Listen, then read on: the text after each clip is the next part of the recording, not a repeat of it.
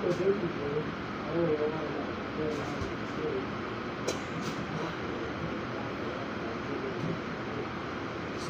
it's your boy.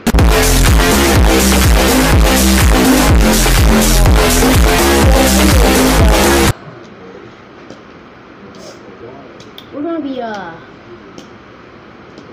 talking about Black Widow. I always Oh the camera fell. Okay guys, I'm sorry. So okay. oh right, right, forgot. And alright, we're in. So we're gonna be talking about Black Widow and Black Widow is gonna be the best. I mean, it's a, I mean, already out. I only seen the movie. I only watched half the movie. I didn't really see the full movie, but hopefully they make Marvel Studios Black Widow 2 in like 2022 or 2023. And Mortal Kombat 2 is gonna come out like 2022, 2023, like the movie.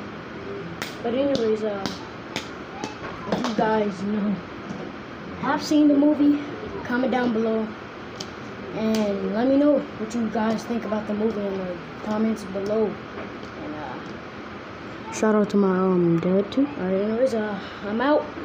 Peace.